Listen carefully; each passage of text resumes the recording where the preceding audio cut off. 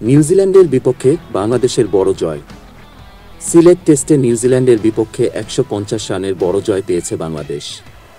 তিনশো বত্রিশ রান তাড়া করতে নেমে পঞ্চম দিনের প্রথম সেশনেই কিউইদের দ্বিতীয় ইনিংস থেমেছে একশো একাশি রানে। গোলাম মোস্তফা ডেক্স রিপোর্ট বিই নিউজ, ঢাকা।